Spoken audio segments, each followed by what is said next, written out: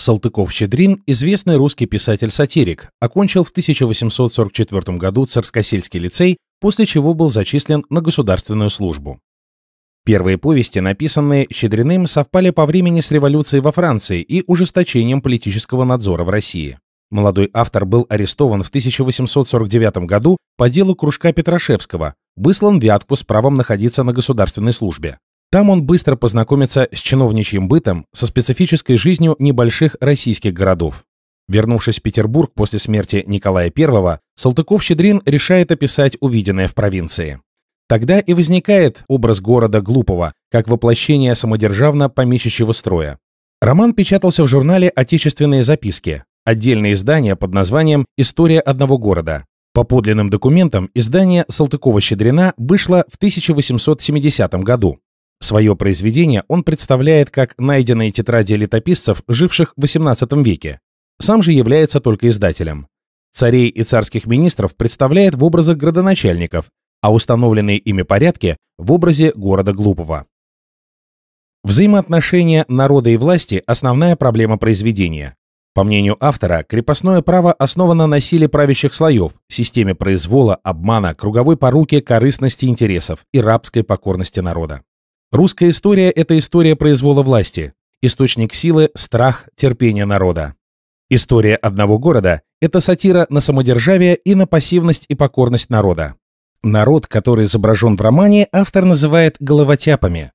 Слово это применяется к людям бестолковым, небрежно, халатно относящимися к какому-либо делу. Головотяп – иносказание, ограниченный и упрямый человек. Головотяпы имели привычку тяпать головами обо все, что не встретилось на пути. Стена попадается, об стену тяпают, Богу молиться начнут, а пол тяпают. Мотив произвола, беспорядочного существования возникает при описании образа жизни этого народа. Ни вероисповедания, ни образа правления эти племена не знали, заменяя все сие тем, что постоянно враждовали между собою. Заключали союзы, объявляли войны, мирились, клялись друг другу в дружбе и верности, когда же лгали, то прибавляли «да будет мне стыдно» и были наперед уверены, что стыд глаза не выезд. Тем не менее, головотяпы стремятся добиться какого-нибудь порядка, но порядок – это, по мнению Вайля и Генниса, вывернутый наизнанку мир. Он существует согласно абсурдным законам, выраженным в прибаутках, поговорках, пословицах, которые глуповцы используют как прямое руководство к действию. Волгу толокном замесили, потом теленка на баню тащили, потом в кошеле кашу варили. Головотяпы-глуповцы действуют по принципу «заставь дурака Богу молиться, он и лоб расшибет». Щедринские герои пытаются построить порядок. У них самих ничего не получается, но сильна в народе вера в батюшку-царя. Сам порядок головотяпы понимают извращенно. Порядок им самим может обеспечить армия и тюрьма. «Он нам все мигом предоставит», — говорил старец Добромысл. «Он и солдатов у нас наделает, и острог какой следует, выстроит. Айда, ребята!» Глупость головотяпов настолько очевидна, что никто не хочет владеть ими. Мы головотяпы. Нет нас народа мудрее и храбрее. Мы гущеедов и тех победили, хвастались головотяпы.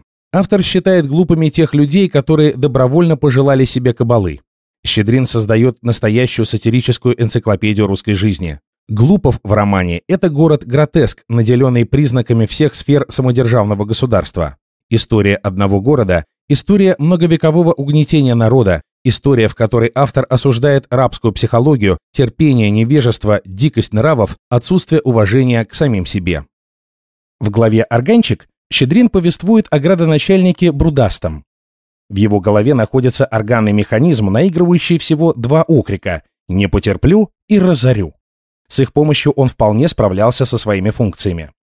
Брудастый – это образец гротеска, писатель представил в убийственно смешном виде всю тупость и ретивость царского сановника. Василиск Семенович Бородавкин, сменивший бригадира Фердыщенку, представлял совершенную противоположность своему предшественнику. Наиболее жестоким представителем глуповской власти был Угрюм Бурчеев. Угрюм Бурчеев задумывает создать идеальную государственную машину и берется за исполнение сумасбродного замысла с исконно русским размахом, что приводит к катастрофе. Автор предупреждает, к чему может привести в условиях России авторитарное правление страдающего манией величия безумца. Тем более, что фамилия персонажа рифмуется с Аракчеевым. Щедрин считает, что людям давно пора преодолеть чувство страха и жить в себе покорность. Сатирик не продолжает развивать тему революционного восстания, но развязка наступает внезапно. Оно пришло. В этом оно, как некогда в темной туче, из которой обрушились на соломенный город страшные молнии, сжегшие его, было что-то неисповедимо ужасное, заставившее глуповцев пасть ниц, какое-то неотвратимое возмездие. За что? В литературоведении нет единого понимания финала истории одного города. Итоговый гротесковый образ появляется в финале как нечто необычное, грозное, страшное, многозначительное. Некоторые критики связывают этот образ с картинами страшного суда в Откровении святого Иоанна Богослова, последней книги Библии.